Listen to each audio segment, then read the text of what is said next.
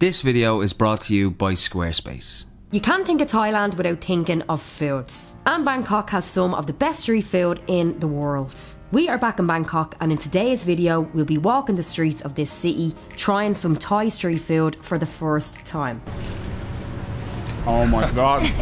To help us, we met up with our new friend Gary, aka the Roaming Cook. Everybody meet Gary, the Roaming Cook. How are you? Gary is from the UK and has been living in Thailand for years and is a Thai food expert. When we just had the rice a minute ago, Yeah. when I lifted off the lid, that late leaf that was flavouring the rice is also what's in this. Not only does he know the most delicious Thai street food here in Bangkok, but he also knows the best places to get them. Although you can get it everywhere, the best place to get it is, is somewhere that sells Radna or Radna, which is what this is as well. Gary is like a local, he knows all the traditional and authentic spots. Oh,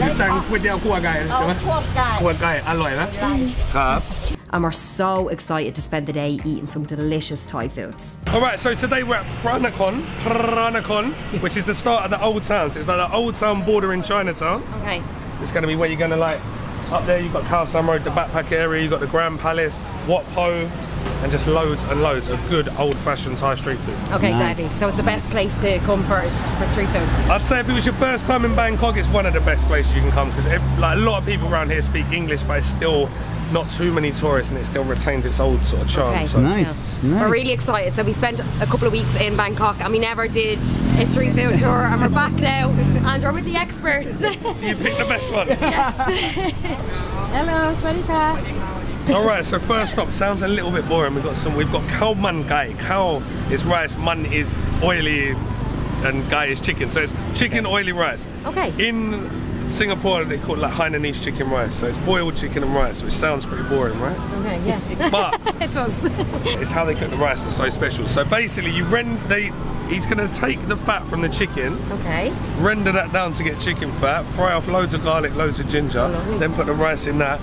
Chicken stock from the boiled chicken into that, boil the rice down, so you get like reverse fried rice. You look at the colour Oh of that oh, rice. god. So you got pandan, whole pieces of ginger, lovely oily rice. It's like sort of reverse fried rice. Okay, yeah. They really know what to do with their food, Yeah, don't they? right? I mean, and this guy, like, he's just been cooking this for 10, 12 years. Mum's Wow. recipe, just this. Really? Yeah. This is Yeah. all he serves here, All he yeah? serves. We've also got some grilled chicken as well, so we're gonna have a little mixture of both, spicy Nice. sauce. Nice. The name of this dish again is, I need to get it. Khao man gai. Khao Man Gai. That's it. Yeah, yeah, that'll do. That's Okay. Good, that's good, that's good. Is this a, a, a, a popular dish here? Yeah, this is one of the dishes. Like, you, you well, now you've had it once, you're gonna see this like Okay, 50 yeah. times a day. You know, like when someone bu- fucking buys a new car and you've never seen it before, and then Yeah. you, suddenly you see it like see everywhere. the Your mum time, say, yeah, yeah. It's like that. That's you're gonna see happens. this. That's what Yeah. we need But- once you show us. Yeah, We'll right, you'll it know it. Everywhere. Yeah. That rice is unreal, honestly. It's so I can good, taste right? the ginger really strong But in it. That's what I mean. Like, not everywhere puts the ginger in the rice. There's always ginger in the sauce. Let me get some of this sauce. Oh, right? yeah, okay. This is what can make or break a khao man gai, right? It's, it's hard to get a really bad one. When you get a bad one, you're like, how is it this like?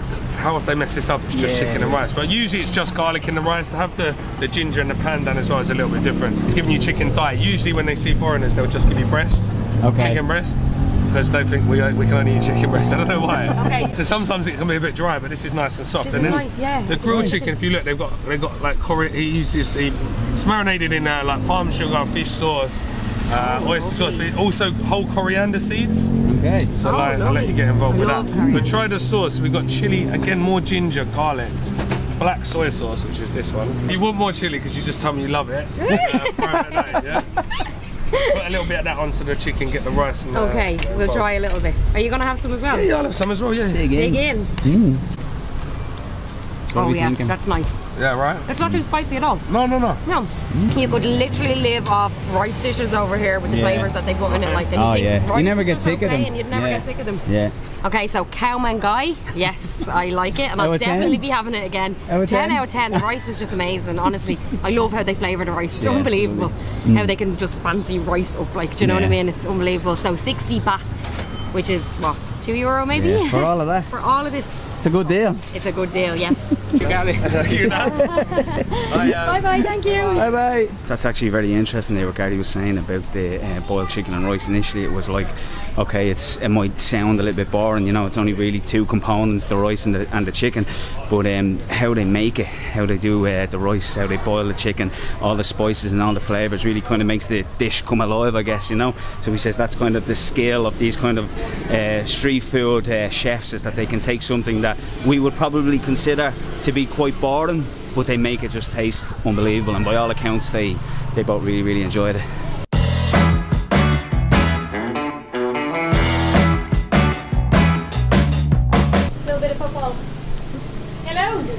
Hey. He's literally taking his ball and running away. Let me introduce you to the sponsor of today's video. We have just launched our very own website, and it's all thanks to Squarespace. So, if you're wondering what Squarespace is, it's an all in one platform that you can use to create your very own website or blog super easy. We are excited to take our business to the next level and increase our online presence by having our very own website. Are you looking to create your very own website or blog, but you're feeling a little bit overwhelmed by the thoughts of it? Because I'm not going to lie, we were too. We chose Squarespace to build our website because they have pre built layouts and customizable templates, and with them, we were able to quickly create our very own web pages. As you can see here, you can add pictures, change the colours, add whatever you want to give it that personal look. It's very easy to use. What we also love about Squarespace is you don't need any advanced computer skills or any web design experience. With Squarespace, anyone can create a professional looking website. And another hassle free thing is you can buy and register your very own custom domain through their website. Another useful thing for us is that we can link our social media accounts to our website. So, for example, our Instagram, we're able to push our recent posts from our Instagram to our website. Click on the link in the video's description to get a free trial, and then when you're ready to launch your own website or blog, you can head on over to squarespace.com forward slash GoTime Travels, and you'll get 10% off on your first purchase of a website or domain using our code GoTime Travels. And back to the vlog. It's absolutely gorgeous around here, isn't it? Yeah, it is, All the yeah. little houses and the little canal running through it. Mm-hmm. Lovely. Beautiful. So I'd love to hear that. So she just said that today she had a customer come and said like from my recommendation, Ah, but, but they're Thai, not even not even foreigners. Okay, not even foreign right. Thai people are coming now from my Nice. recommendation. nice. They sell two dishes here basically. So one is called kuah gai, right, which means pan roasted chicken noodles, right? Okay. Which is a dish you can only get in Bangkok. Okay. More specifically in this area, so it's wide rice noodles, chicken, and that's pretty much it. 'cause it's in pork fat, right? But here they take it one step further, so you get egg noodles fried the same way, but with barbecue pork, which they've also handmade, cooked in lard. Usually these egg noodles Wow, here, that sounds amazing. we don't fry these egg noodles here. Usually you only have these in soup. Okay. So this dish they only sell here. They don't Wow. they don't sell it anywhere else. I'm taking you somewhere that you can only get this dish here. Wow, And okay. if you come and check this out, come Yeah. and check this out. They make their own lard, so they make their own pork fat, right? Okay. But they, so they render down pork skin to make it, and then what's left is this crispy, crunchy pork fat, right? And then they put this back on top of the noodles, and you can have as much of this as you want. Wow. So it's like it's just like a yeah, like a heart attack on a plate. in a good way. so if I go today, if I'm gone, like I'm dying a happy man. It's always the fattening food that's like the nicest, isn't it? Tim, Tim. I like All right, Mark, all right, Mark. Oh my god. wow, that's amazing. It's amazing. Like the best pork scratching ever. Oh yes. And this also is is um, super rare that they're cooking on these. We call these bows, so they're like a, like a charcoal grill. Okay. It's, it's hard enough to regulate temperature when you're frying. When you've got gas, you can turn up and down. Yeah. And the fact they have to use and get the temperature right on the charcoal, Okay. and there'll be fan in the whole there to get it like hotter. These brass pans that they cook on, these aren't very common either because some people don't like things being cooked in here because you get so much char on it, which is where you get the flavour from. But some people don't like it, so it's just ah. pure charcoal chart. I was going to say that you'll get that flavour really yeah, yeah, strong yeah, now, yeah, because I can even smell it now. Lovely.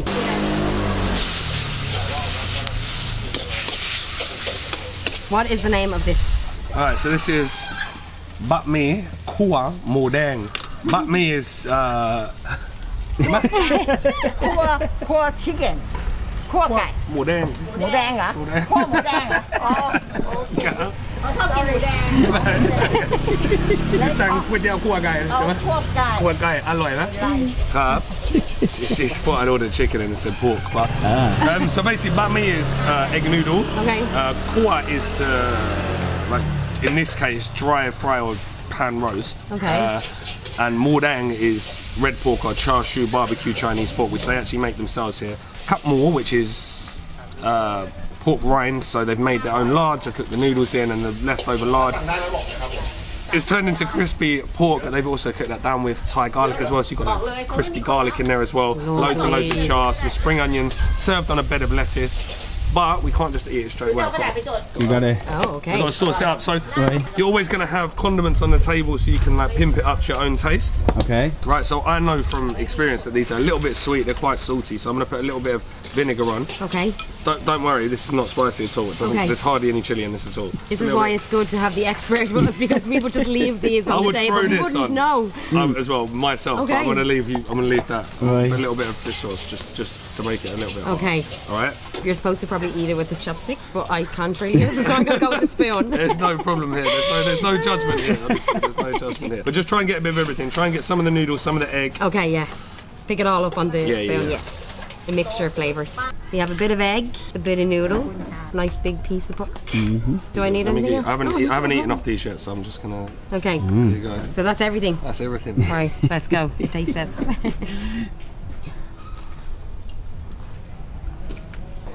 amazing. Wow. Is it really? it really is good. Yes, it's so good. I love Thai food. It gets better and better, honestly.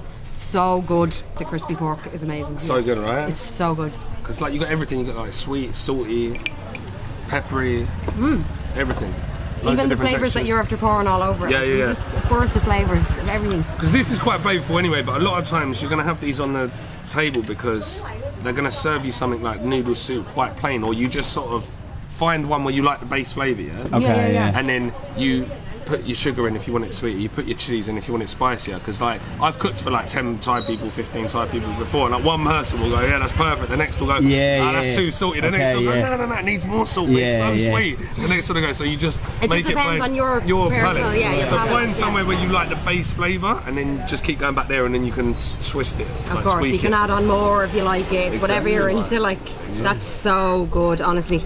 We would never order anything like this. As I said, we're very simple eaters, so we always just order the same thing. We find a nice rice, rice and chicken safe, we? dish. We play it safe, and we're like, mm. okay, that will do. But like, this is why coming on a field Yeah, yeah, tour yeah. like this is really good. Yeah, we'll have to get you to write the names down though, because I'm not going to remember. 100% that's it. 100%. That was a treat because I don't think you can get that anywhere else. He's bringing us to the best spots, which is good and bad because we're not going to probably get them again as nice, but it's really good to taste them. Yeah, yeah. But that was amazing. That's definitely one of my favourite dishes I've tried since being in Thailand. I tell you, if you look for an old apartment around here, man, you won't be able to just move in. yeah. And 60 baht again for that. This street food is just for nothing, honestly. It's so, so cheap. And again, I keep saying it, but like, just be brave enough to try it and like, do your research or go on a food tour with someone and get them to bring you around to the best spots. Yeah. Do you know what I mean? You can live really, really cheap over here. It's really cool and kind of interesting to see Gary uh, interact with all the locals. He speaks Thai. He's been living here for about seven years, and just the kind of means man are just kind of watching and just sort of, you know, admiring just the way he kind of talks to them and just gets all the information. It's great. Jesus, fair play to you. Gary's cooking us up a nice dish here. ไม่อร่อยก็โอเคนะ โอเค อร่อยที่สุด อืมไม่ใช่ทำเองก็อร่อยเอาไม่อร่อยก็กินได้ใช่ไหม Oh wow. Smell of it. I think they're freshly making the dough in there. Oh. Oh, look at this. So, vegetarian food. Vegetarian food. I'm gonna eat, lovely. So basically, what we've got, we've got fried dough sticks. So she said you can go inside and have a little look at the dough in a minute. Oh, But it is basically as it sounds. It's like a bread dough cut up into strips and they fry it. Like you can have this sweet or savoury. So the actual breadsticks aren't sweet, Okay. but the sauce that you get with it, which is uh, Thai custard, flavoured with Bai Thai, which is pandan. So when we just had the rice a minute ago, Yeah. when I lifted off the lid, that late leaf that was flavouring the rice is also what's in this. Ah, okay. Asian, right. Asian vanilla. So very sweet custard. Okay. And you dip that in there. Sometimes they have this with rice soup. You might see it at a, Right, okay. hotel, right? Yeah, yeah, So you can have it sweet or savoury, Ah, but today we're going to have it sweet. Lovely. And do you know the name of this? Patong ko. Okay. Patong ko. Patong ko. So I've been here seven years.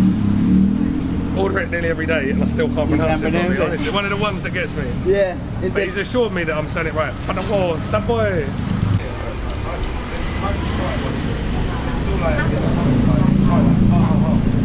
I don't know. It's like I was gonna say donut, but it's more kind of like a batter. You know the way donut would be more be a different kind of texture. This looks like kind of batter. It's obviously dough that's been fried. We've just been seeing them uh, cooking it, how they chop it basically and just then fry it. So split it down the middle. See that crispy inside. Wow. It's a bit like a pizza crust. Yeah, yeah. I was Having a little say, dip it's, in it's a. like a, a batter kind of thing, isn't it? So this would be the pandan leaf, as I said before. Okay. Uh, coconut milk, a little, Right. a little bit of uh, evaporated milk, sugar, egg, a little bit of corn flour, and then they, Nice. they then they cook it down and it thickens up. Wow. It's serious, isn't it? No, oh my god. that is incredible. And uh, The sauce is lovely. six baht each, so like it's eight. Uh, yeah. The nickname's Chinese donuts, but Yeah. it ain't really a donut. Yeah, yeah, Yeah, yeah, it's similar to a donut, but then that sauce is Yeah, yeah, yeah. absolutely. I mean, without the sauce, maybe it might be a bit bland, a bit Yeah, plain, yeah, maybe. yeah. But the sauce just. But that's the beautiful thing, because this sauce is so flavourful. You need something just a little, just bland, a little bit oily, just Yeah. like carry it. But th- there's a really famous one in Chinatown. They've got a few branches now, like hyper famous. 20 people in the queue. I think this one's much better. Really? personally. Yeah, yeah. Yeah. I'm at the double dip in there, sorry. I don't have very good sauce etiquette. Work away, mate. Work away. The sauce is a mad colour, isn't it? I like know. it's but a luminous green. the colour of the sauce is crazy. Like it doesn't look nice to look at. I know, right? it, like- You'd think that that was like food colouring, wouldn't you? Yeah, yeah, But but it's that's not. not. It's that leaf that was in the rice, and you blitz it out with water, squeeze all the juice out, and then what when, makes the when you mix it with the coconut milk, 'cause the coconut milk's white, it goes like bright, luminous green. Ah. So some people will obviously use food colouring, but if you go to these old school proper Thai Chinese shops, been open 70 odd years, you know, they're, they're doing everything properly. Doing it doing properly. everything, it's all made yeah. from scratch, no food colouring, nothing. there you go. It's all That's pure. amazing. oh my god. Is that serious? oh my god. absolutely honestly. beautiful. Do you know what? Since I've got to Thailand as well, I'm obsessed with coconut. Like I've always Yeah, loved yeah. coconut, but everything there's so many dishes and all made with coconut. But you, I think I don't know because I haven't been to India. I know you guys just got back from India, but like, don't hate me, my Vietnamese viewers here. But the, the coconuts here are so much better than the coconuts we get back home. Yeah. Vietnam, Laos, anywhere. The coconuts in Thailand are like Insane. The best. but uh, there's coconut in this, yeah. Yeah, I can yeah, taste real coconut, yeah. Do you know what it's like? Remember in Ghostbusters, the slime? The slime, it's like, isn't it? But yeah, but this is delicious. Right, honestly. that's my new favourite. yes. yes. Our next stop brought us to another one of Gary's favourite places. A family run business that's been in Bangkok for decades. Yeah. So the shop's name's Yodpak Sisip B. So like 40 years. So. But the sign went up a long time ago, so now I just asked her how long it's been open. She's like, oh, I don't really know, 50, 60 years, something like that. Lost Uh, count. They always say about, so they always say about 50, about 60. So between 50, 60 years. Either way, it's old school. And if you've been operating in this area for 50 years and you're still open, and this is the least busy you will ever see this joint. Really? If you come here at like lunchtime or later on today, it's going to be absolutely mobbed. So Okay. like this is the least busy I've ever seen it. So. Oh. Here we got to try a savoury vegetarian dish, and Samantha got tested with something she wasn't overly keen on. Oh, Wow. what's this? And then this, is one vegetarian is a vegetarian number. This one, okay. Oh yeah. That looks really Let me just try it. Let me. I'm not going to try it. I just Yeah, want to see yeah, what walk they've done away, here. walk away. Oh, look at that. Off menu for you. Really? She's given you some rehydrated shiitake mushrooms. Oh, So some proper decent Chinese mushrooms instead of meat. And actually, That sounds fancy. look right. When I actually cook at home, and I, say I was cooking for my mum or my sister who are vegan, if I was substituting meat, I would always use mushrooms, not like processed, like fake meat. I would always use Yeah, yeah. So what's the, what would you call this then? What's So this is pad see ew. So this you can get this everywhere in Thailand, Okay. um, like anywhere, like any guest house or pad see ew. So it's just white rice noodles with see ew, which is dark soy sauce, see ew dum. All the flavors coming off like that really hot again. High heat wok cooking. Yeah. Although you can get it everywhere, the best place to get it is is somewhere that sells radna or radna, which is what this is as well. So the two go together. They're like a little married couple. Ah. Um, and if you if you're selling radna and pad ew, you're always pretty much going to get a good one. So we've got wide rice noodles, dark soy sauce, garlic, a little bit of oyster sauce, uh, and some pat kana, which is Chinese kale. I'm really excited about this. Yeah. It looks amazing. So these are the, the noodles. Yeah, so they're rice, in. rice noodles, rice noodles. So good.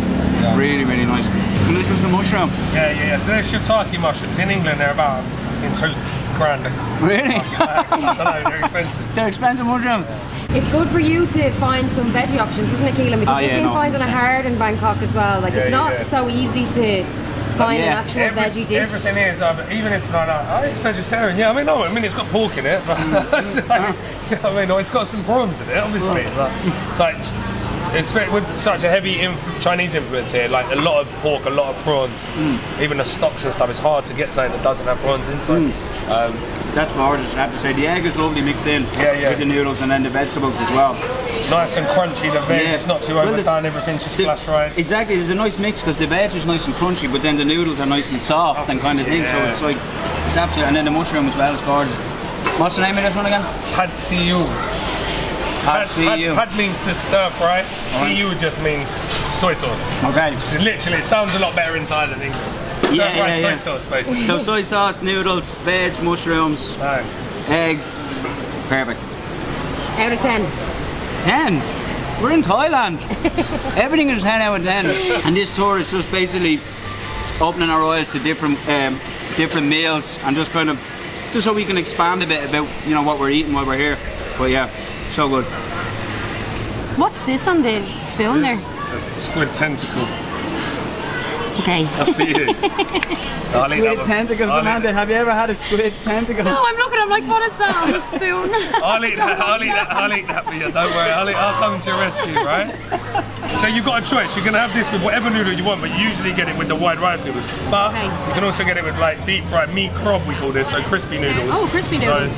you can do whatever you want. You can So dip them in there, or you can pour them that in there. Okay. Ah, okay. so you can dip them in And the that will soup make, if, if you pour that in, it will make them soft, I suppose? Yeah, soft up a little bit. Yeah. So do you Okay. want to pour it in? Alright, what's the best way, you know? And he's saying, you know. Uh, he's saying pour it in. you Okay, pour it it in. in Oh! Oh, it looks lovely. All right, and again, guys, got to get a little bit of vinegar on there, right? You know the first place we went, Yeah.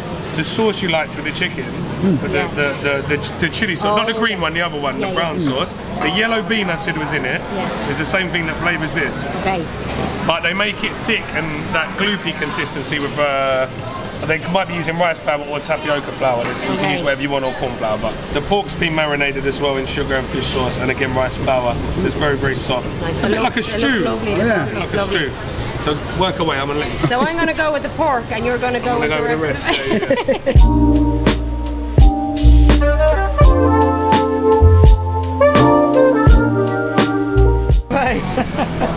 Yeah, yeah. Oh, okay. We're starting to get to that stage where we're starting to get stuffed. But Gary's now bringing us for a little bit of ice cream from some. Uh, there's kind of like a family business here. I think they've been in Bangkok for about 80 years.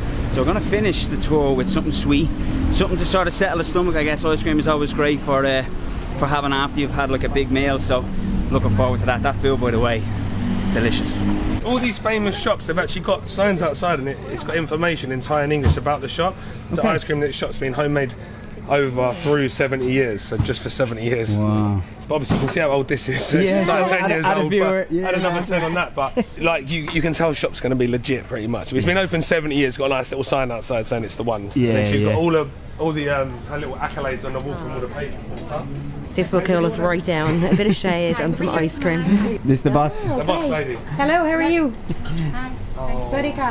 You want? Uh, Ireland. Ireland. Mm. What flavour are you going to get, man? I think I'm going to go with coconut, I have to, honestly. Yeah. What are you going to go for? Are we going to just share? That's so much food. Yeah. I'm thinking that we need to fit in a beer at the end of this. Yeah, yeah. Euro each. Uh, handmade. They even they even look, they even got the coconut uh, milk machine to make the coconut milk. Oh wow! Like, this is old school. They This is proper. Yeah, this is proper. All right, so this one's pretty rare. This is black sesame, and the reason I get this one, the one I like the taste, Okay. got like a sesame's got like a kind of peanutty kind of taste, but it's got a really interesting texture because it's like ground nuts. It's like a, like quite a chalky one, and these like uh, they're not churned, so they're like more like sorbets. They've got like ice crystals in, which we're always taught not to do when we're like in the West to cook, uh, make ice cream. You got to keep Yeah, yeah. thing, but it's nice because it's so hot. It's nice to have that, and where it's fresh coconut milk, it's, it's nice to have those little like ice crystals in it. I can see that. Yeah, it's like icy. Yeah, looking. yeah. Okay, so I'm going to try the coconut and Caolan's going to try the black sesame. Black sesame.